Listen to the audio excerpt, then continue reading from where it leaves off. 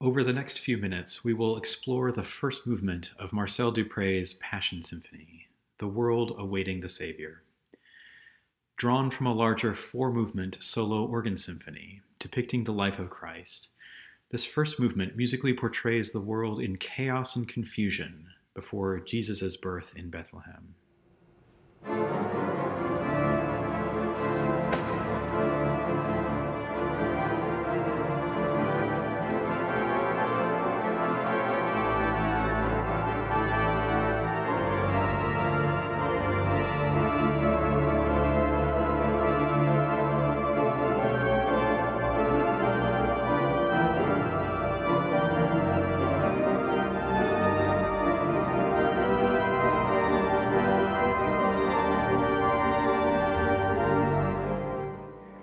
To achieve this effect, Dupre draws on two musical ideas, which he spins out and develops throughout this piece. The first theme is melodic, and Dupre uses the ancient plainsong melody, Jesu Redemptor Omnium, as the foundation for this movement. Sung by members of the Duke Evensong Singers, the melody looks and sounds like this.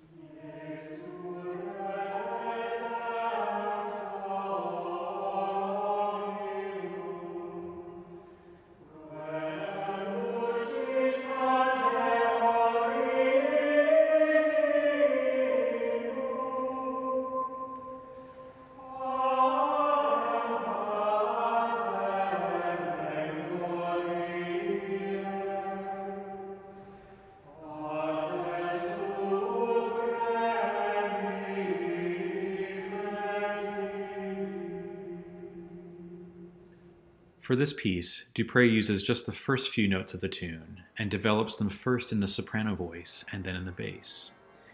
And lastly, in canon, a musical game of follow the leader, in this case started by the right hand and then followed in typical virtuosic Dupre fashion in the tenor voice, played by the right foot on the pedals while the left foot provides harmonic foundation.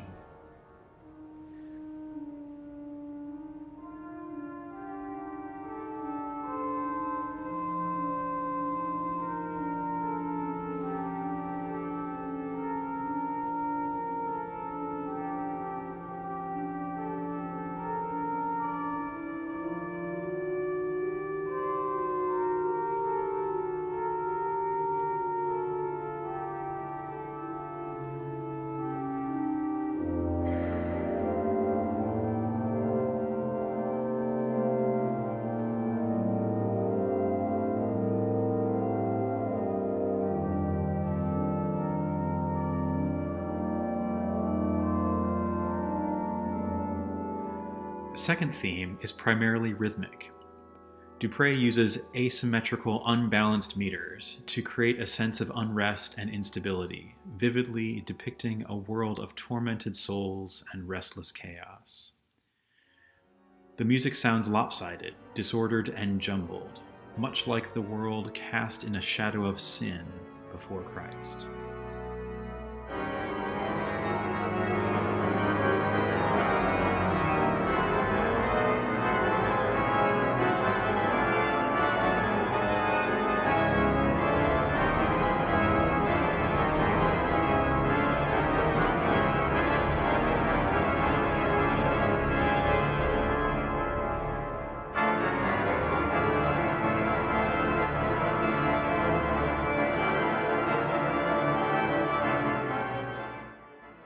The exemplary musical talent of Marcel Dupre blossomed from an exceptional childhood.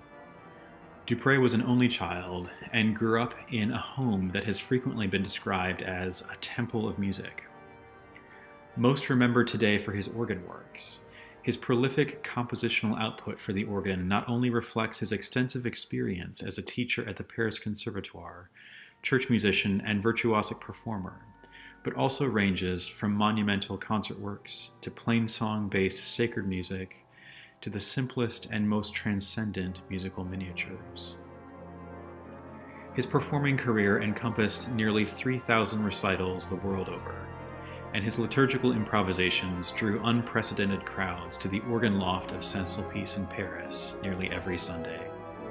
Described by American critics as a musical miracle, Dupre's Passion Symphony originated as an improvisation on the great symphonic organ at the John Wanamaker department store in Philadelphia during his first concert tour to America in 1921. The symphonic Aeolian organ at Duke Chapel dates from just over 10 years later in 1932. In this performance, we can hear and imagine some of the sounds that so captivated and inspired Dupre for his original improvisation. To conclude this remarkable work, Dupre combines his two themes, transforming the calm melody of Jesu Redemptor Omnium by altering its melody and even rhythm to the jagged relentlessness and irregularity that permeates this entire work. You can hear this most clearly in the highest and lowest voices of the organ texture.